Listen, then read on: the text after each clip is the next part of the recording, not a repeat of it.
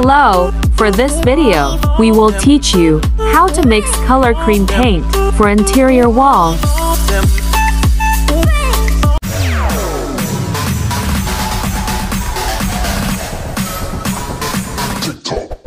We